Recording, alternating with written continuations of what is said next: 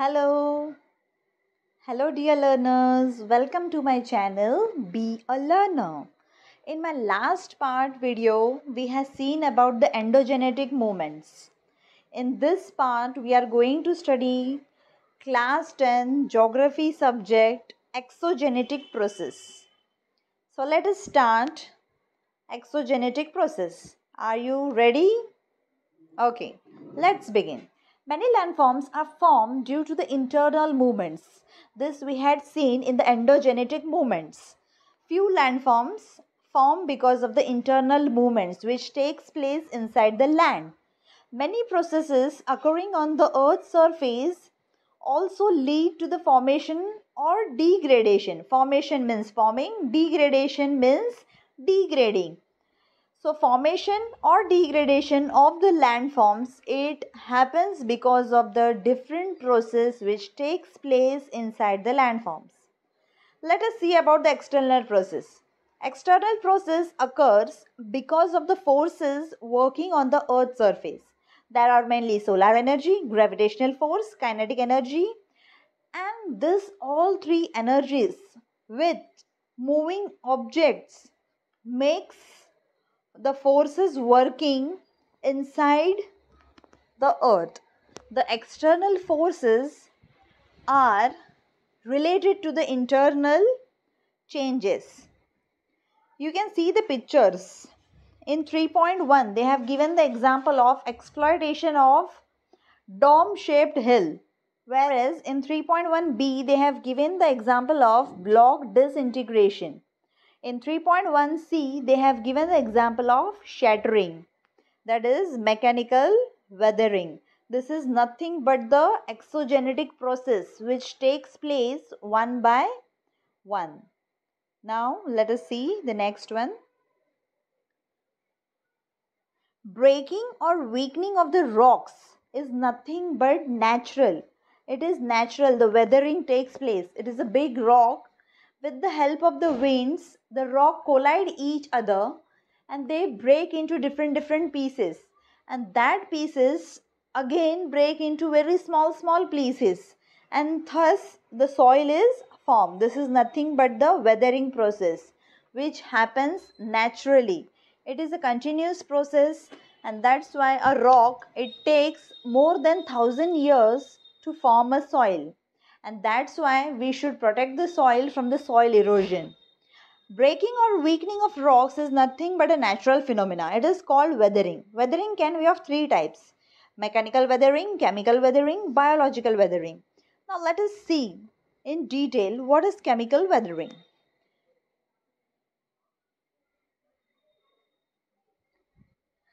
In arid climates, mechanical weathering is dominant while in humid climates, the chemical weathering is more effective.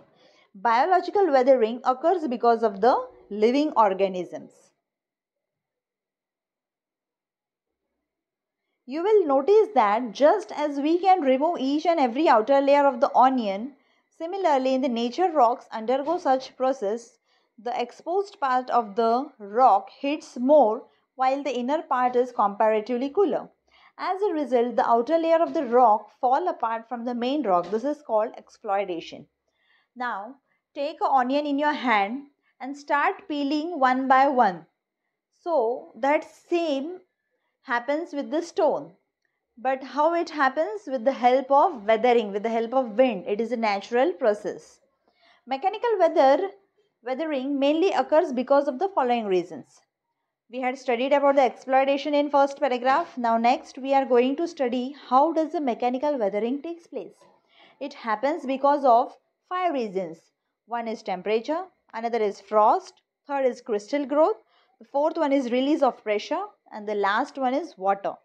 With the help of all this, the mechanical weathering takes place. Now let us see one by one how does the mechanical weathering takes place and what is mechanical weathering. Before that, make sure you have understood exploitation. The one which I gave example of onion.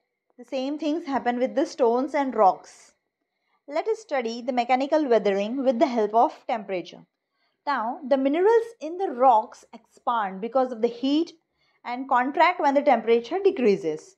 Due to such continuous contracting and expanding, tension develops in the rock particles. And when the tension develops, they start the reaction. How it happens in human beings? When exam is coming near, a person gets tension and he starts studying more and more. He doesn't sleep, he doesn't eat, he doesn't play. He starts studying.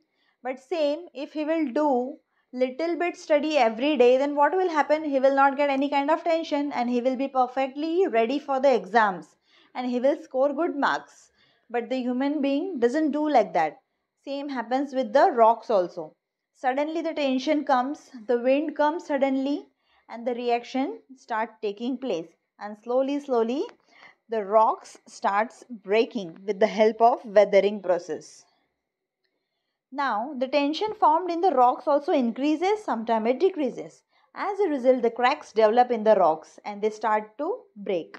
Second example we are going to see of mechanical weathering is of frost. You know that the volume of the water increases when it freezes. Frost means you can see your freezer. If you keep a glass of water, within 2 hours the water will get freeze. It becomes a solid. And if you will hit someone with that ice the person will get hurt very badly because it has become like a rock it freezes and it becomes a very hard material in the same way when you will throw that ice the freezed water on the wall it will break into pieces. Same happens with the rocks and stones. In the winter season in polar regions where i continue snow is falling the rocks they get freezed and when the weathering takes place they break into pieces. This was about the second example frost now we are going to see about the third example that is crystal growth. In rocky coast waves hit the sea cliff. The water is alkaline. Some water droplets hit the crack in the rocks. In this alkaline water the soluble material in the rock get dissolved. Now crystal growth is about when the sea water just comes and sit on the rock for some time and the rock starts dissolving because of the alkaline water. And slowly slowly the process begins. And this is the third example of crystal growth. Fourth one is release of pressure. It is not that the tension is created in the rocks only but the tension is created outside the rocks also. The rocks keeps on hitting on each other on other rocks on the walls and this all process happens when this pressure ceases to exist the lower or the inner layers get freed from the pressure. And this also happens just because of weathering. So release of pressure was the fourth example. Next the fifth example is water. Some areas experience more rainfall. Some areas experience less rainfall. In such areas, soaking of rock water also causes weathering, like sandstone, conglomerate. This kind of rocks are formed because of the water pressure. So, this was all about the mechanical weathering because of the five reasons temperature, frost, crystal growth, release of pressure, and water. Let us repeat. Mechanical weathering takes place because of five reasons. Which are they? Temperature, frost, crystal growth, release of pressure, water. Very good. Let's go to the next page. In this, they have explained about the chemical weathering. How does the chemical weathering takes place? Few chemicals. Now, uh, take a chalk, piece of a chalk, just break it can you join it again? No. Same happens with the small, small stones. When they are at a great height on the mountains, when they fall down, they break. And this is nothing but the chemical weathering because of the high pressure of the wind. The chemical weathering takes place. Second thing is carbonization. When the rainwater it travels through the atmosphere before reaching the ground it hits somewhere on the rocks on the mountains or the hills it hits there the rainwater and because of that the chemical change takes place and this is known as chemical weathering The best example of chemical weathering is limestone. Let us see few more examples. Some minerals in the rock get dissolved in the water. Limestone is formed due to the chemical precipitation between water and alkalis.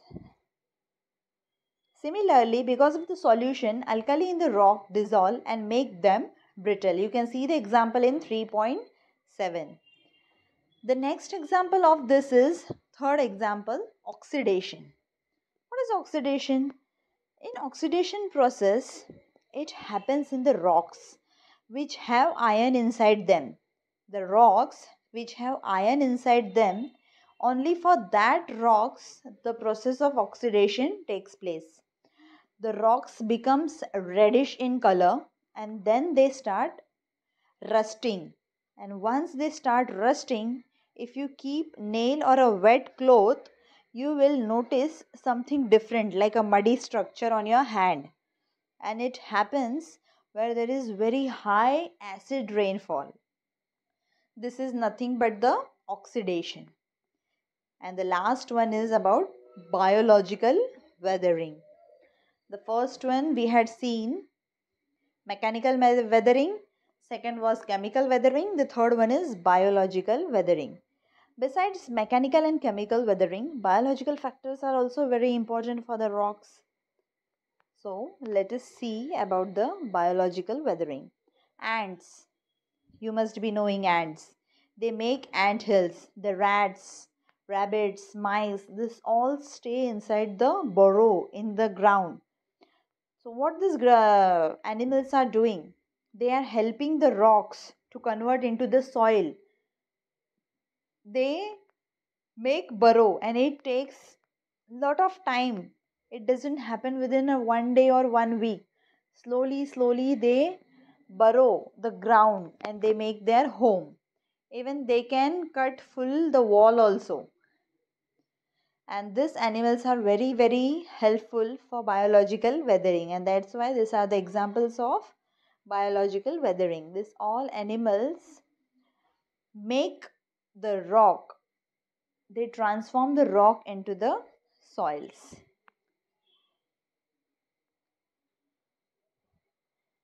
In this, mass wasting is also there. Let us see what is a mass wasting. The weathered rock materials start moving alongside the slopes due to the gravity and accumulate near the foothills. There are many rocks. They gather together and they go and collect down near the foothills, near the gentler slope. Because of the slopes on the mountains, they come down and with the help of gravity they go and collect down near the foothills. And once they are collected near the foothills, the weathered particles start moving from here and there. And slowly, slowly, with the help of other weathering process, these rocks are transformed into smaller rocks.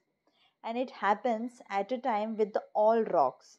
And that's why this process is known as mass movements. Mass means more than one or many at a time. Next, the second last part is rapid, ma rapid mass movements. What is rapid mass movements?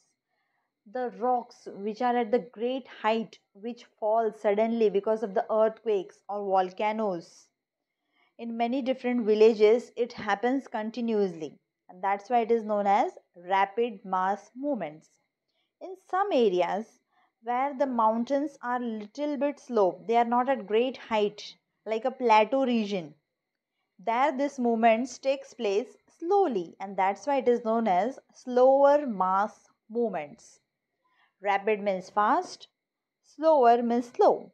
Next is erosion. It's very important part of the chapter. When the rain is falling the soil is covered on the land. And when the rain falls heavily it takes away the soil with it.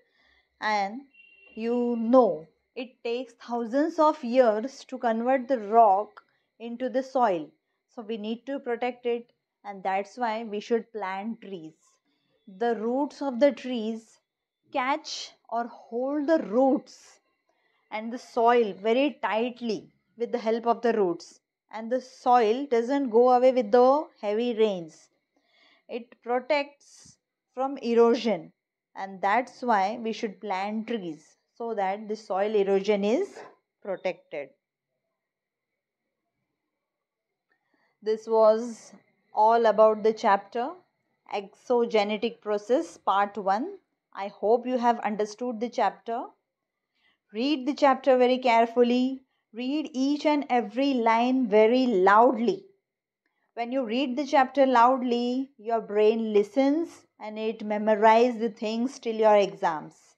It is very important to read loudly. Learn the hard words, write down in your notebook. I'm sure that all my students are practicing vocabulary every day. If you have understood the video, please click on the like button and subscribe my channel. Thank you. Have a great day.